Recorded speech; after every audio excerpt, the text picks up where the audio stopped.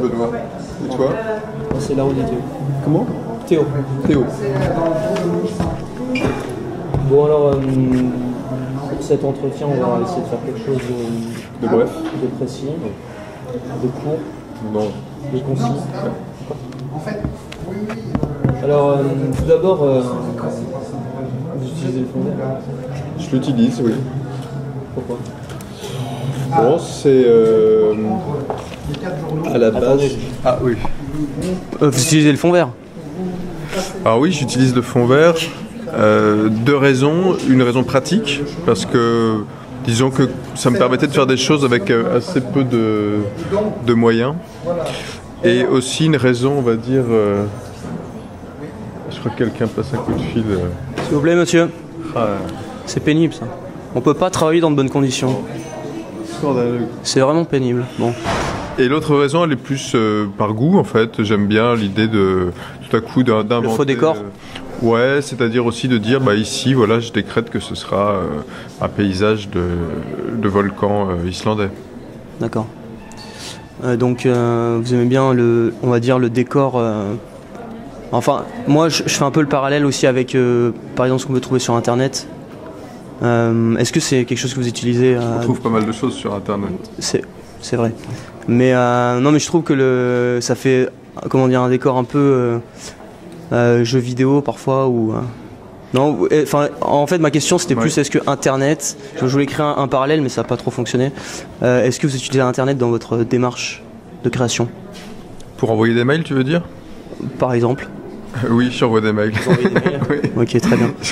non, mais peut-être euh, ce que tu voulais dire, euh, c'était par rapport euh, à la culture, on va dire geek ou. Voilà, ouais, vidéo. plus, ouais, culture. Ouais, Bon, euh, c'est un, petit peu le cas, mais c'est plus en fait parce que je crois que je, viens aussi, bon, plutôt des, beaux-arts, donc d'une façon d'envisager le cinéma comme quelque chose qui n'est pas forcément naturaliste, et donc est plutôt une histoire de représentation. Donc l'idée d'avoir un fond vert où je dis, bah voilà, ça c'est euh, l'Elysée par exemple, alors que je suis pas l'Elysée, ça me convient. Ok. Euh, du coup, moi j'ai vu un, j'ai vu un peu ce que vous avez fait. J'ai apprécié, je vous le cache pas. Euh, C'est euh, voilà, mais j'ai pas vu grand chose, mais, mais j'ai vu quelques. Et surtout Gaz de France que j'ai vu l'année dernière. Et du coup, euh, je voulais savoir si Gaz de France, euh, est-ce que c'est pour vous c'est un film, enfin, c'est un film politique, engagé un peu? Est-ce qu'il y a une opinion politique derrière?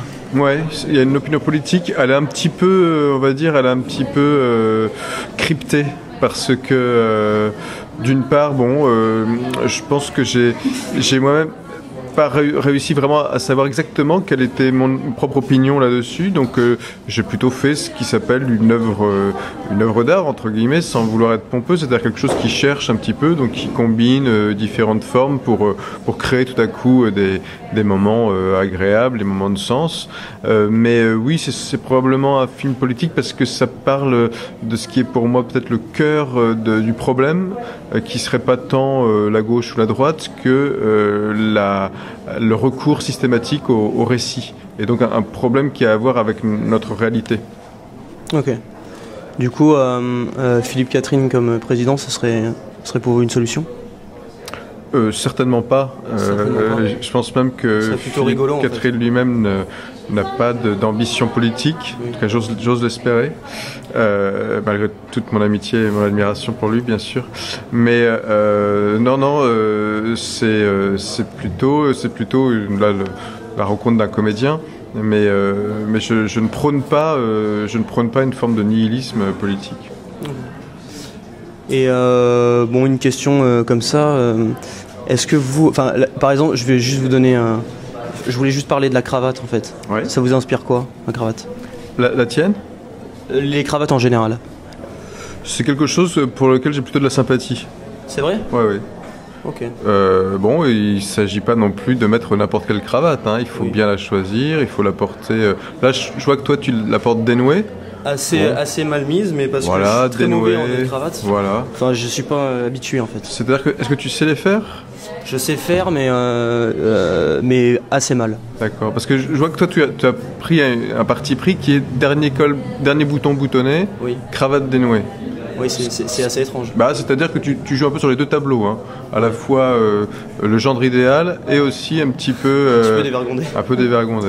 C'est vrai. Donc je sais pas, tu nous diras si ça. Vous en portez, fonctionne. vous, des, des cravates Ouais, bien sûr, dès que j'ai l'occasion. C'est surtout exemple, pendant les euh, moments euh, importants, on va dire. Bah, pas vraiment, ça peut être à tout moment. C'est par, par goût. Ah oui. Quelquefois aussi, si Donc- je veux impressionner, si je veux impressionner, Ah oui, je vais mettre une cravate. Comme objet, enfin, enfin, on va dire, comme objet c'est un peu de euh, stylistique. Enfin, de, un, comme, comme on porte un collier en fait. Bah, Comme ça, tu- vous l'utilisez.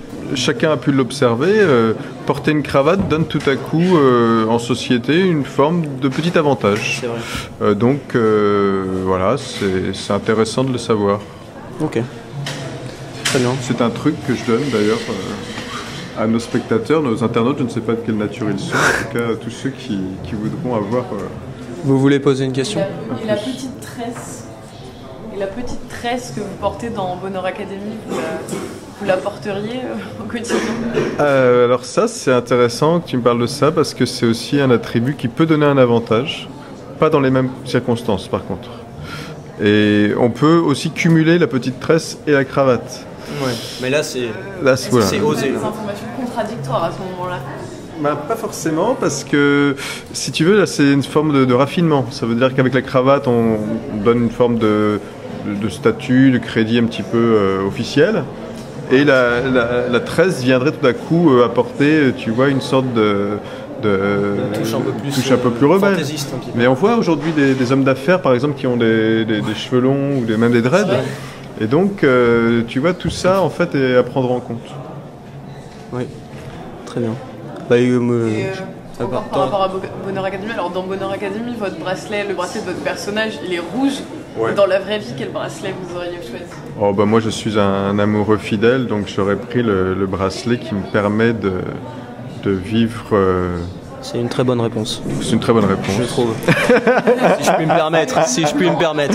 Mais je sais plus de quelle couleur il est, mais. Non, ne voilà. pas être dérangé. Ne pas être dérangé. pas être dérangé. D'accord. Super. Bah, C'était bon, je crois. C'est bon? Ouais, ça m'avait l'air pas mal. Ça m'avait l'air pas mal. Bon, bah, Euh, je vous remercie. Hein. Bah, le, le CV est bon, donc euh, on essaiera de vous recontacter, Vous- je voilà, pense. me- Voilà, je vous, dis, je vous donnerai la réponse euh, plus tard. On fait ça comme ça Ouais, merci beaucoup. Très bien. Suivant. Ouais, personne.